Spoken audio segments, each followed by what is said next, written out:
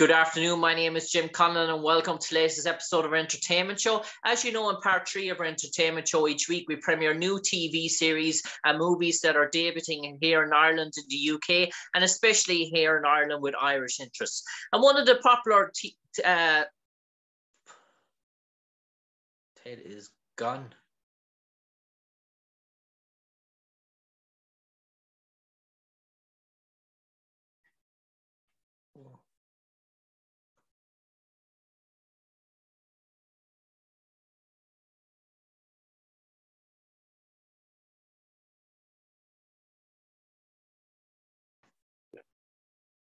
Good afternoon. My name is Jim Conlan, and welcome to the latest episode of our entertainment show. As you know, in part three of our entertainment show each week, we premiere a new TV series or movie that is debuting here in Ireland and the UK, and especially with Irish interests. And up for discussion this week is a TV series that has been running on our stations here for the last month or so on channel Apple TV right across Ireland and the UK, and especially here in Ireland. And it's called Shrinking, and it deals with a grieving therapist uh, who starts to tell the clients what he really believes in terms of the truth and defying his sort of training and ethics. And it features an all-star cast, including Jason Segel, uh, Jason Segel, uh, Harrison Ford, uh, Christa Miller, Luke Tennie, Michael Urie, and our special guest this evening, the one and only Ted McGinley. You think to yourself that's a familiar sort of name, Ted McGinley? Yes, indeed it is. Uh, Ted McGinley, famously known from appearing in Wayne's World, Revenge of the Nerds, Pearl Harbor, Daybreak, and most importantly, that you might know him from as Jefferson Darcy in the one and only Married with Children. Ted McGinley plays the role of Derek in Shrinking, and uh, Ted, to be back in a popular sort of TV series again, a comedy series. Uh, you're so accustomed to that sort of role. How excited are you to be lining up beside Jason Segel and Harrison Ford? Yeah, uh, yeah, luckiest guy in America for sure. Uh, yeah, I'm beside myself. It's one of those dream jobs. You know, I mean, I, I for years I just wanted to meet Harrison Ford, like just be in a room with him. And now, you know, we're sharing a stage together. It's phenomenal. Like I, it blows my mind. Jason Segel, one of the nicest uh, creative minds that I've ever met, and and funny and sweet and kind. It's just a great, great gig. I'm so proud to be a part of the show. And I didn't realize it was in Ireland now, so I haven't heard anything. Like, how's it going over there? Are they enjoying it? Yes, it's good. We've actually uh, we're into the fourth episode here in Ireland. Uh, it sort okay. of debuted here, so it's running for the last uh, sort of month or so uh, here, Ted. And Ted, I got to ask you, appearing in a TV series, the very first one, Fantasy Island, back in 1982, to be appearing in a TV series almost like 40 years sort of later. Uh, dare I say, uh, does it almost fill you with the sort of same excitement as it was uh, as a young boy, uh, young kid uh, appearing in Fantasy Island all back those years ago? Yeah, it's a good question, actually. And it was 1980. I got Happy Days okay, in 1980. Uh, but we started work probably in 81. But I, I, um, I was so afraid in, in those days. I was so I hadn't any training. I didn't belong with these people who were massive professionals.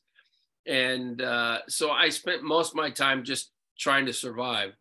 And now it's uh, so much more fun because I come loaded with, you know, many years of experience and, and I, I enjoy uh, the challenge. I still love the challenge of trying to do good work. Hmm. And, and yeah, continue. is so smart. Sorry, shrinking is is so smart that uh, it's the smartest show I've ever been on. The writers have created these brilliant, complicated, interesting characters, and uh, I, I, happen to be one of them. And you don't know yet. You know, by the way, as you as the season plays out, you'll see Derek has a little more to do as it goes. But uh, it's been a dream come true. And Ted, you've been uh, offered so many roles uh, throughout your life in terms of series, in terms of movies, and probably projects that you've turned down as well uh, throughout the years. Uh, were you sort of approached for this role of Derek uh, in terms of the, were you sought out for this sort of role? Did someone had you in mind when they were creating for this role, or was it the normal talent agents process, uh, audition sort of process? Yeah, no, this one, Bill Lawrence and I have tried to work together for, I actually tested for the TV show Scrubs. Okay. For, for the John McGinley character, the one that John McGinley got. So the two McGinley boys were the two people who tested for that show, and I didn't get it. John got it, uh, but at least McGinley was going to get it, so that was good. Uh, but I, I, so Bill and I have been trying. He's tried to hire me a few times uh, to do shows of his, and uh, for one reason or another it'll get to the studio or the network and, and it didn't work. So um, he said to me listen trust me I, we're going to work together. And then this showed up and it was a godsend. I mean this is you know, i'm i'm just really fortunate to be a part of it and uh, Ted, did you know Harrison Ford and Jason Segel were attached when they brought this uh, concept to you, this character? Were they already attached at that stage? And obviously, if they were, that probably made the decision a lot more easier for you. Yeah, yeah, uh, yeah, yeah. They were attached, and uh, I, I, thought it was a practical joke. Like, there's no way you want me to work with Harrison Ford and Jason Segel, uh, and I could just show up and do this. I don't have to jump through. Yeah, uh, okay where do I sign? And how quickly can I get to your house to do it? Yeah, it was crazy. I mean, I was, it was a dream come true. They were attached and I couldn't believe that I would be, I, you know, I'm still, I still can't believe it. And uh, Ted, in terms of your wife, uh, in terms of your in, in terms of uh, shrinking, uh, the one and only Christa Miller, uh, played by Liz, uh, is your wife in this. Obviously, you mentioned the character Derek. What's their sort of relationship? I know Liz often babysits for Jason, but behind closed doors, are they sort of a strenuous relationship? Is it, is as as quirky as the Darcys? well I would say uh, that the relationship between Derek and Liz is very honest. Hmm. So they have they have a, it, it, may appear as if she's you know she's sort of pushing him off to the side, but the truth is Derek doesn't mind. Derek has a full life, and uh, Derek doesn't mind not being invited. Uh, but Derek and Liz have a have a very honest relationship they can say things to each other that uh, most couples can't. And they say it and they they love each other for it. They have a very cool relationship. And i think it's actually kind of like uh, bill and christa's real relationship. I mean they have an amazing relationship when you watch it. And uh, i think a part of that sneaks into into this these two characters. Uh, but you know derek is a guy who's trying to find holes in his life, trying to make time to do nothing. Liz is a her character is trying to fill all the holes that she now has. So we're kind of working in opposite directions. Is Derek going through a midlife crisis? Uh, Derek is not. No, not yet. Derek is looking forward to trying to go through one. Okay, okay, okay. uh, Derek, you know, Derek is really easy going and uh, he, if you notice, like Derek doesn't really have any of the problems that a lot of the other characters have. Hmm. He's figured out how to navigate the seas pretty steady, and and uh, it's sort of like that's that's where he's sort of like me, where he he's more than happy not to be seen. Hmm. Uh, just goes through his life. He doesn't need a whole lot. And I suppose, John, in terms of the production now on set for Shrinking, uh, in terms of that, in terms of season one, now you had uh, roughly uh, 10, 10 sort of episodes. I know season two is uh, in the pipeline and the works at the moment. Uh, what was it sort of like in terms of the studio lot? Was it maybe were you there to treat three to four months in terms of production in terms of, and obviously for you was was it maybe you were needed on set maybe three out of the six or seven days of the week in terms of yeah, shooting? it's per- yeah it's a perfect job. It's a perfect job right? So you probably for me so we spend half of the time at warner brothers studios in what we call the valley in, in where all the studios are a lot of the studios are. And then um, the other part was actually in the homes out in Altadena, out by where the Rose Bowl is. Okay. And uh, and so from where I live, I live at the beach. That's like I might as well be driving to Mars. Uh, and in LA, it, we have traffic like you can't imagine. So if you have an afternoon call all the way out in Altadena, which is an hour away, then you know I'm, I might as well leave in the morning and go sit in my trailer. Uh, you know, it's a it was those were really the two spots of where we filmed. Going to the studio was super fun because there's nothing cooler than to get to drive, especially if you're a guy who's when you audition, they make you walk from 20 miles away. You're so unimportant. You're always in somebody's way. They have to check you out to get through. When you're on a show, you get to drive right through the gate. You got your own spot. It, it's it feels so good and then when we go out to to uh, the houses out in Altadena, the neighborhood, I think we had two houses side by side, and I think the neighbors were ready for us to to get out. Uh, but we've now created those homes on a set. So I imagine that's what we'll do. I have no idea. You, you know, they surprise you all the time, so who knows? But this being on set with, I mean, you know, Harrison Ford has a he has a, a golf cart uh, that he cruises around, and he has his own mountain bike that he rides around, and so does uh, Jason Segel and um, Lukita has her surfboards on top. She surfs every day. She's got her surfboard rack up on top of her car, and you know it's fun to be around these people. They're hmm. interesting. They're fun, and uh, it's a it's just such a unique group of people. Hmm. And uh, Ted, do you like uh, obviously uh, projects that come your way in terms of pipeline? Obviously, you've signed on to to shrinking uh, uh in terms of that.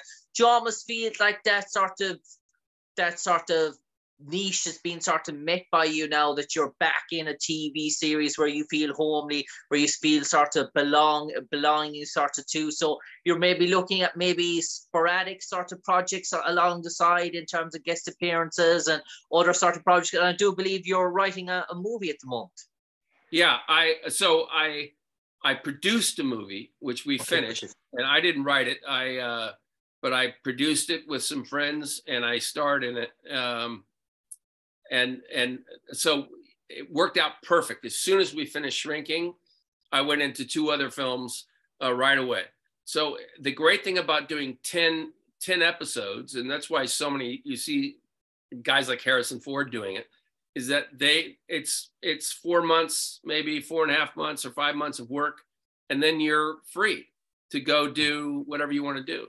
It works out really well. It could be uh, for, so you see a lot of movie stars, you see a lot of people doing this kind of thing now, and and for me, it's like it's ideal. It's just it, I think Married with Children, we probably work nine months out of the year, and on a show like Shrinking, you probably do five months out of the year.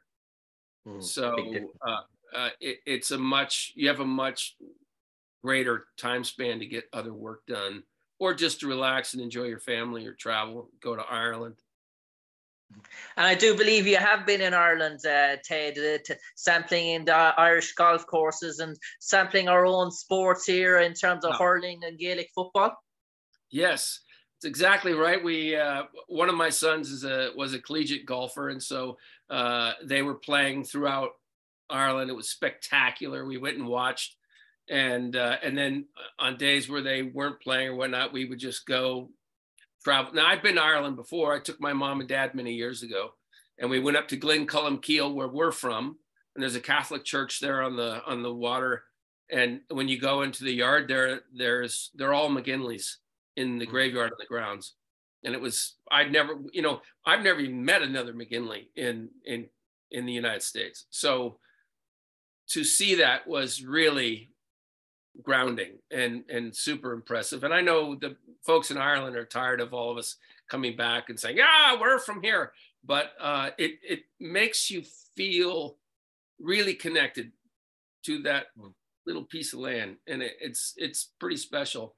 Uh, and then the golf courses there are amazing, and that's a massive pilgrimage, a rite of passage here if you're a golfer to go there and play. And and so I'm I'm I'm constantly trying to let get my wife to let me go with some buddies and play play there.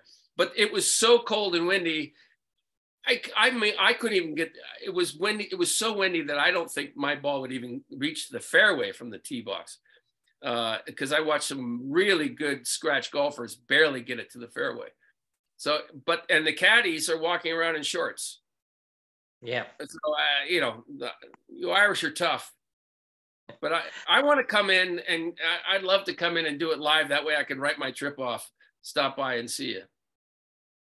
No problem, uh, Ted. Uh, Ted, before we finish up and before we start to the final 30 seconds of promo uh, shrinking, I got to ask you, do you miss the 80s? Do you miss Married with Children? Do you miss that sort of time in TV? You did probably a popular TV show. You, you'd stretch the boundaries, and what you did, obviously, you probably wouldn't get away with in terms of TV. Again, there'll probably be never a series yeah. like it again. It caused so much anticipation, so much hype. It sort of caused it divided a nation. Some of the storylines in terms of aggro, yeah. what happened, and uh, you start to look back and sort of those years, and you think to yourself, there's some fantastic memories, there's some great times, and you think to yourself, do you close your eyes sometimes and do you go back there, or do you think to yourself, well, that's that's history now. Let's leave it sort of there, or just do you miss it in a way, Ted? Well, I miss the people. Hmm. I miss all the casts that I've worked with. I miss I miss that relationship because uh, everybody just moves on, and and you always think you're going to stay together, but it life just comes at you and and you often don't so i miss that part of it but i'm not a guy ever who looks back i i never live backwards uh, almost to a fault. I, I like going forward. I love what's coming. I'm more excited about what's ahead of me than what was behind me.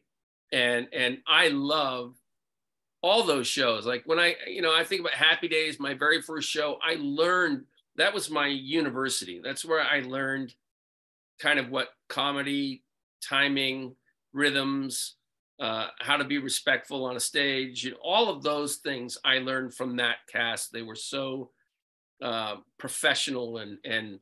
Uh, I suppose Henry Winkler would leave his mark on anyone. He what? I suppose Henry Winkler, uh, such an expert pro, he'd leave his mark on anyone in terms of learning from him. Yeah, you're, and what I learned from Henry really was, I mean, many things, but he's so good with large groups of people that would wherever you go with Henry, large groups of people would come at him. And uh, I watched him navigate his way through it. And it was, I mean, that was probably what I learned from him more than anything was sort of treating everybody with respect, but still accomplishing what you have to accomplish. And then, and then um, letting everybody know how much you appreciate them being there, et cetera, et cetera. I mean, Henry's just a master at that. And of course, you know, I mean, again, I, I was I was a guy who was watching that show on television, and then literally a week later, I was on it. Mm-hmm. No training, no nothing, and so thank God they were generous enough to let me just sit there and learn and it was it was a miracle. So yeah, I mean, I owe a lot. Like when I think back on those days, for years I didn't because it was hard. I w- I didn't feel like I had done a very good job, but now I realize like I was thrown to the wolves. Like the, my education really started once I started working uh, in the business, and so I did it backwards. Um, and then I started doing comedy improv work and I met Sam Kinison, which later led to Married with Children. Uh, you know, so I had a lot of uh, my whole just the whole process was uniquely different. Uh, but I'm a guy who wants to go forward. I'm a guy who's always thinking, what's tomorrow? And uh, who can I bring with me? And tomorrow is very bright in the world of uh, Ted McGinley. Uh, Ted McGinley, now for the final 30 seconds, you might enlighten all our audience, all our listeners, why they should continue watching Shrinking here on channel Apple TV in Ireland to watch your character, Derek. And uh, we're, we're, we're, going into the second half now of season one. Uh, what's in store for them, uh, Ted McGinley? Well, I will say it has, it's really worth the journey. You got to stick, stick with it from one to 10 10 will pay off in a big way. Uh, each one of these characters develop more and more. You'll see more of Derek. He gets uh, a little more to do in all of these shows. Uh, and I think it, I think Apple TV has created the smartest, most interesting show on television, most inclusive and uh, incredibly brilliant. And, and I, I would watch it just for that reason alone let alone you got Harrison Ford, Jason Segel, Kristen Miller. I mean, come on. Wrong with you guys? Watch it.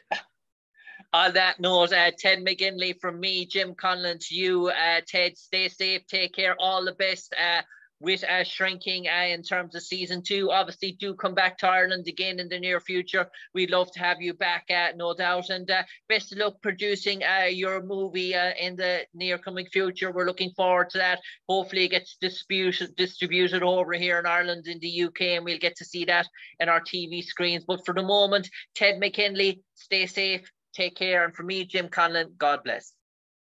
Big Jim, thank you, buddy.